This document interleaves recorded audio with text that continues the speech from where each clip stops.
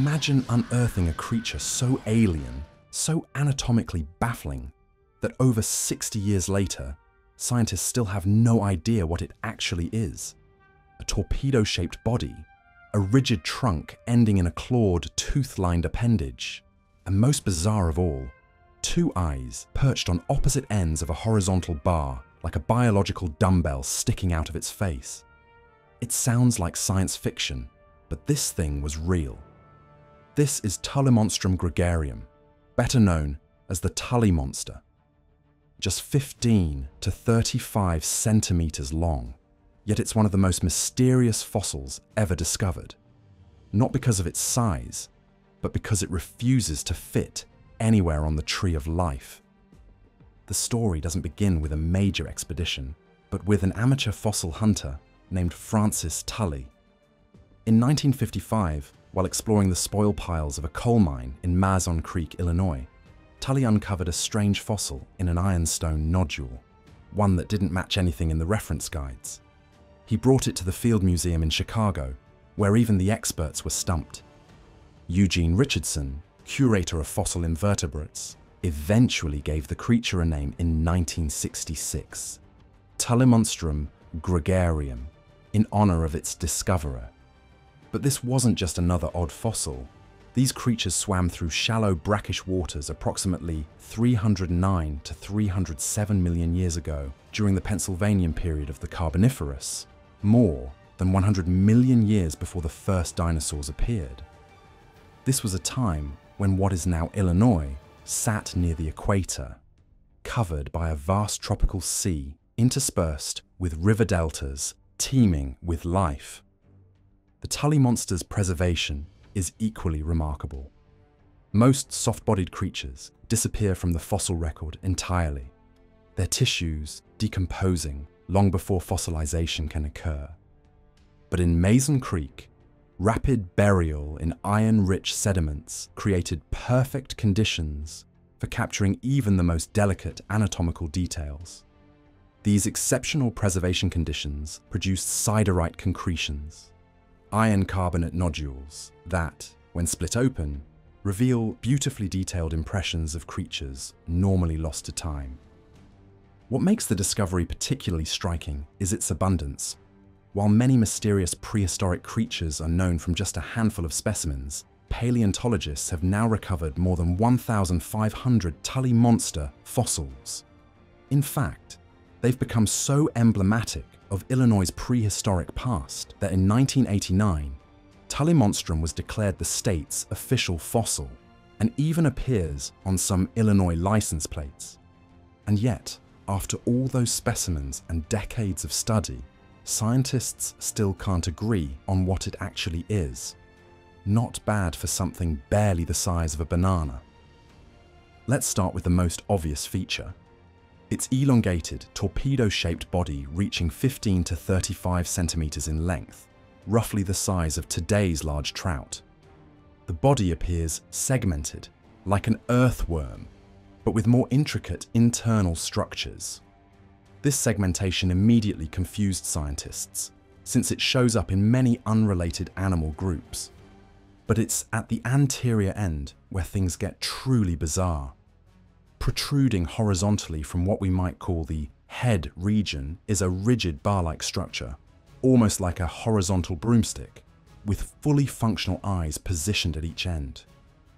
Imagine your eyes perched on the ends of a dumbbell extending sideways from your face, and you'll begin to appreciate just how bizarre this arrangement is. No living creature sports anything remotely similar, making it a unique feature in the entire animal kingdom. As if that weren't strange enough, extending forward from the body is perhaps its most distinctive feature. A long, rigid proboscis ending in what appears to be a claw-like structure lined with small teeth. This appendage makes up nearly a third of the creature's total length and was clearly prehensile, likely used for capturing prey or manipulating objects. The tooth-lined claw bears superficial resemblance to the radula of mollusks, the jawless mouths of primitive fish, and even the grasping appendages of certain arthropods, adding further confusion to its classification. Completing this anatomical enigma is a finned tail region that, ironically, represents one of its most conventional features. The tail appears somewhat paddle-like, suggesting the creature was an active swimmer rather than a bottom dweller. Internal features only deepen the mystery. Some fossils show a rod-like structure interpreted by some as a notochord, others hint at gill pouches or a digestive tract. But every new detail seems to spark more debate instead of clarity. What makes Tullimonstrum's anatomy particularly confounding is that it combines features found in different animal groups in ways that don't follow any clear biological pattern. It's as though someone had access to nature's parts bin and assembled a creature using components that weren't meant to go together. Yet somehow, this improbable arrangement worked well enough for the Tully monster to thrive in its ancient ecosystem. The alien anatomy of Tullimonstrum leads to an equally fascinating question how did this bizarre creature actually live? While behaviour doesn't fossilise directly, the Tully monster's unusual physical features offer compelling clues about its lifestyle and hunting strategies. That distinctive proboscis ending in a toothed claw wasn't just for show. Its structure strongly suggests a predatory lifestyle, with the long appendage likely serving as both a sensory probe and capture device like the extendable jaw of a dragonfly nymph or the lightning-fast strike of a mantis shrimp, the Tully monster's proboscis was almost certainly its primary hunting tool. But exactly how did it deploy this bizarre apparatus? The most plausible scenario paints Tullimonstrum as an ambush predator, using its relatively small size and possibly translucent body, like many modern marine animals, to stay hidden in the water column. When prey drifted too close, it would snap into action, extending its proboscis to grab the victim with its tooth-lined claw and pull it back toward its body for consumption. The unusual eye placement on the horizontal bar also suggests specialized hunting behavior. With eyes positioned at the extreme lateral edges of its body, the Tully monster would have enjoyed nearly 360 degree vision, a significant advantage for detecting both prey and potential predators in its murky estuarine environment. This arrangement might have allowed it to spot movement above, below, and to either side simultaneously, a visual superpower that few modern animals possess. Its swimming capabilities, while not exceptional, were likely sufficient for short bursts of speed. The torpedo-shaped body and finned tail point to a creature that moved through the water with lateral undulations, similar to many fish and aquatic salamanders. Whether it was capable of sustained swimming or preferred to drift with currents remains unclear, but its body form suggests it was at least moderately agile in the water column. As for its diet, the size and structure of its proboscis suggest it likely fed on small to medium-sized prey, perhaps smaller fish, crustaceans, or soft-bodied invertebrates that shared its habitat the tooth-like structures were well suited for gripping slippery or struggling prey, but not for crushing shells or tearing into larger animals.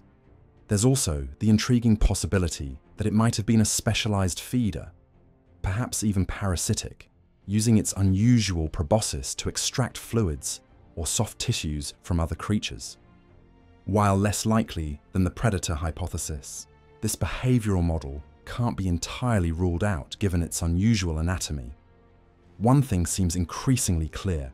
Despite its modest size and bizarre appearance, the Tully monster was no passive filter feeder or simple detritivore. This was an active hunter with specialized adaptations for capturing live prey. A fearsome predator in miniature whose hunting prowess belied its comical appearance.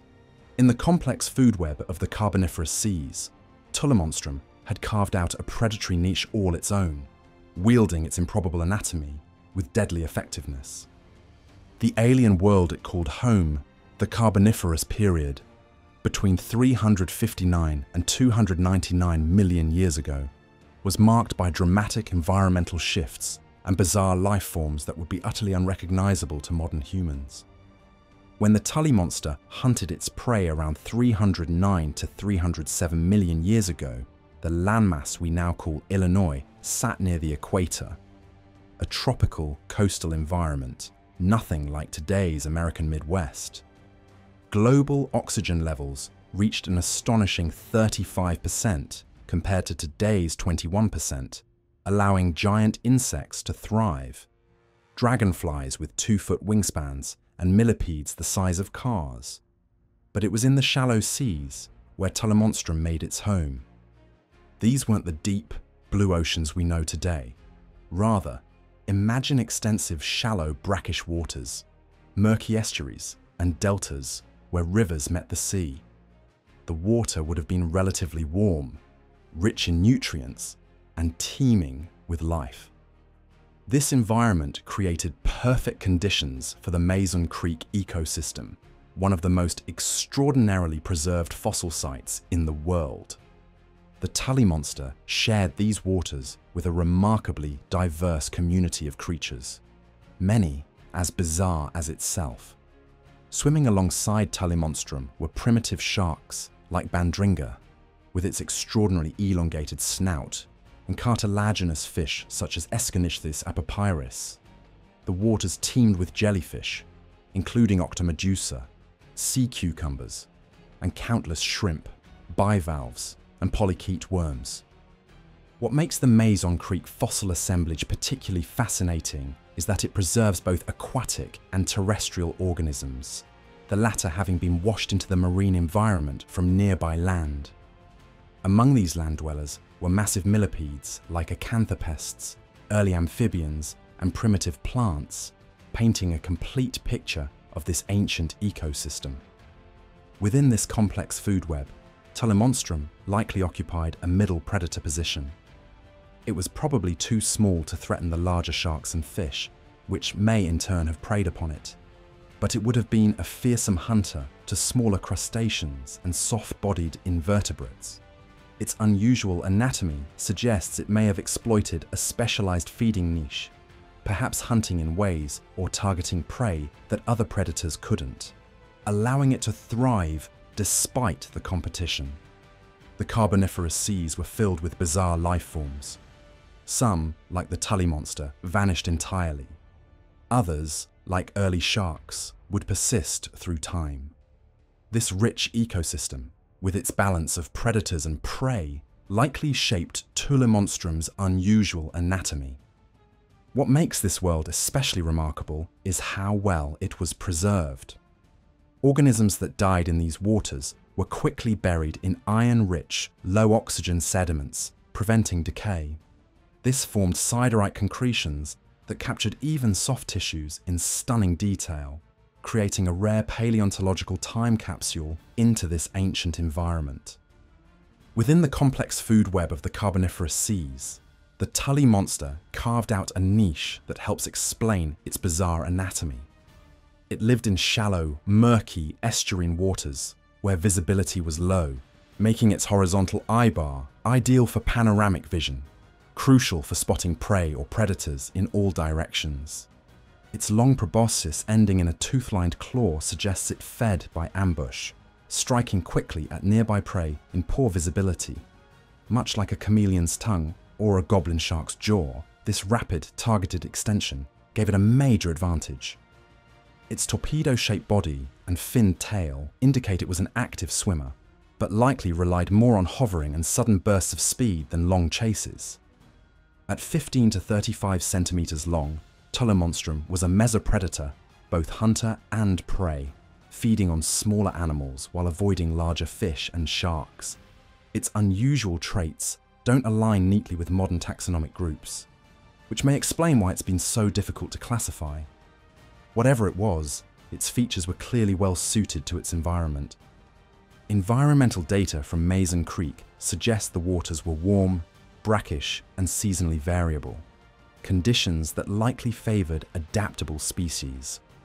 With over 1,500 fossils recovered, Tullimonstrum wasn't a rare anomaly. It was common, successful, and perfectly suited to a world far stranger than our own. From obscure fossil to scientific icon, the Tully monster has become Illinois' state fossil, a museum star, and a symbol of prehistoric mystery. Its bizarre anatomy, uncertain classification, and pop culture appeal make it both a scientific puzzle and a reminder that some of nature's strangest creatures were entirely real.